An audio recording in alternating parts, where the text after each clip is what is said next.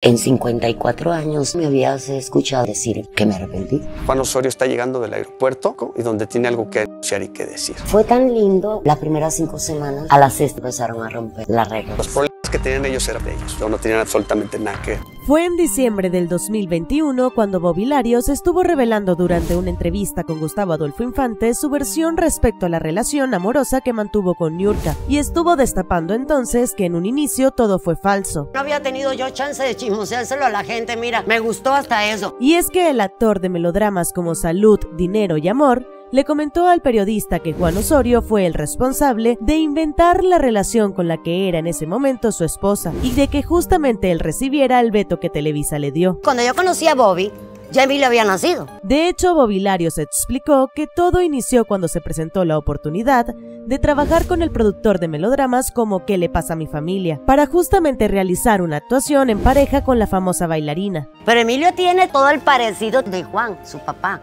Y fue así como él conoció a la famosa actriz en la grabación de la telenovela Velo de novia. El actor estuvo asegurando que no le interesaba trabajar con él porque tenía una relación muy cercana con el también productor Emilio La Rosa, pero aún así estuvo aceptando la propuesta para la historia de la telenovela. Si quieren dudar quién es el papá, qué pena por Juan porque yo lo amo y lo respeto. Fue durante el programa Siéntese quien pueda donde la ex participante de la Casa de los Famosos reveló si efectivamente el progenitor de su hijo es Bobby Larios, quien supuestamente fue su amante mientras ella estaba casada con el productor de telenovelas hace unos años atrás. La verdad yo no tengo la duda ni En este sentido, Niurka apuntó que más allá de las habladurías, Emilio Osorio contaba con los rasgos físicos de Juan Osorio. Así que finalmente Niurka Marcos aclaró los rumores acerca de la paternidad de su hijo Emilio Osorio, pues recientemente ha circulado la versión de que el joven de 19 años de edad no es hijo del productor Juan Osorio, sino de Bobby Larios.